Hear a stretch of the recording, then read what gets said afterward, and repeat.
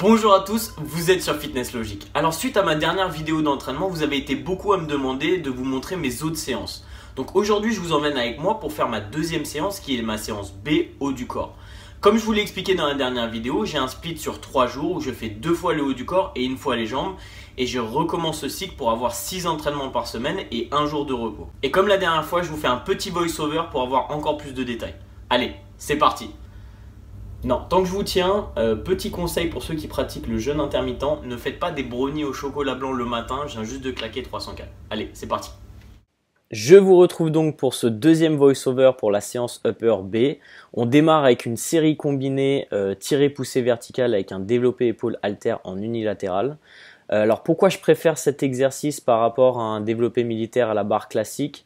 Euh, tout simplement pour deux raisons. Déjà, ça me permet d'éviter d'augmenter le déséquilibre qu'il y a entre mes deux épaules suite à mes blessures. Et en plus, ça me permet d'avoir un bon alignement de la tête pendant toute la durée de l'exercice et c'est assez important pour moi. Alors comme je vous l'ai dit, c'est des séries combinées et pas des supersets euh, pour la simple raison que je me repose entre chaque série de chaque exercice. Voilà, alors que quand vous faites un superset, généralement vous enchaînez directement les séries euh, de différents exercices.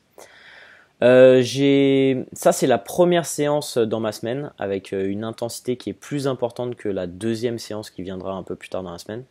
Euh, je fais ce qu'on appelle une périodisation ondulatoire. je suis obligé de faire ça pour progresser maintenant, donc je mets plus lourd sur ma première séance et ensuite un peu moins lourd sur la deuxième séance. j'ai travaillé un petit peu ma technique sur, sur les tractions, donc j'ai baissé un petit peu le poids. Euh, là, on a 28 kg et demi pour 6 euh, répétitions. On enchaîne donc avec la deuxième série combinée qui est un tiré poussé horizontal.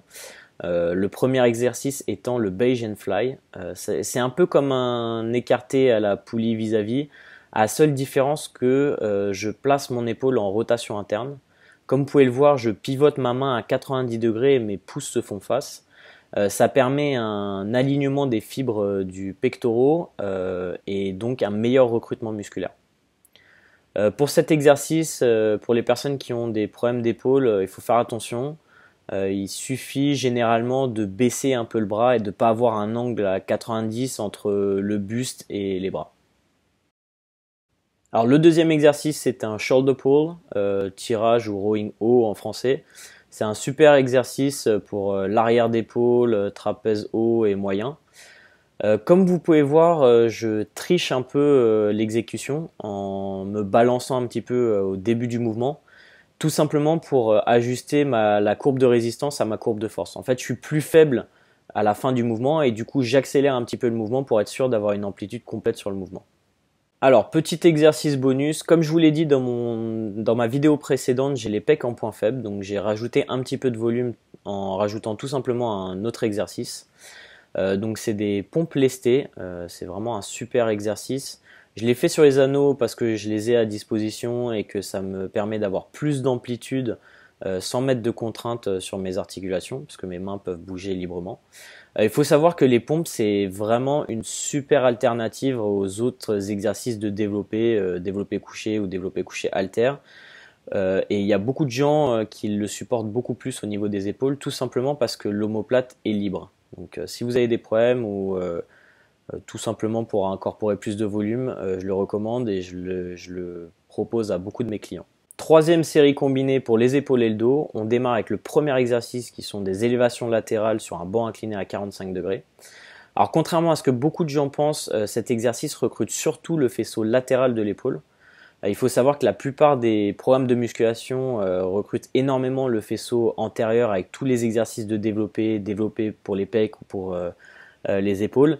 Et du coup, je préfère mettre un petit peu plus de volume sur le faisceau latéral. Au niveau de, je prends assez léger, je fais pas mal de répétitions, euh, ce qui convient très bien aux épaules. J'enchaîne avec euh, le deuxième exercice qui est un high pull euh, en unilatéral, donc une isolation pour le grand dorsal surtout. J'ai vraiment des super sensations avec cet exercice et ça m'a permis de rajouter un petit peu plus de volume sur mon dos. Euh, je, fais fais que deux séries sur cet exercice, ça me suffit euh, par rapport au volume euh, total d'entraînement pour mon dos que j'ai calculé sur la semaine. si vous devez en rajouter, je vous le conseille fortement.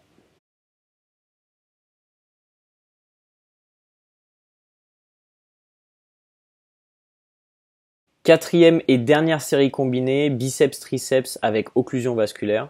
Alors pour ceux qui ne connaissent pas l'occlusion vasculaire, euh, autrement appelée Katsu, euh, je vous mets le lien en description vers euh, mon site internet où vous aurez tous les détails dans un article que j'ai écrit. ça me permet de rajouter du volume d'entraînement au niveau des bras tout en préservant mes articulations. Donc tout bénef.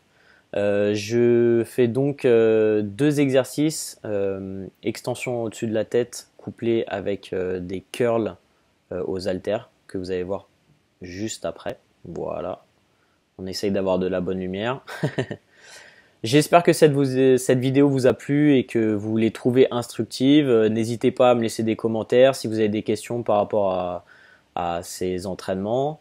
N'hésitez pas à vous abonner, laisser un pouce bleu. si vous voulez que j'en fasse d'autres, dites-le moi.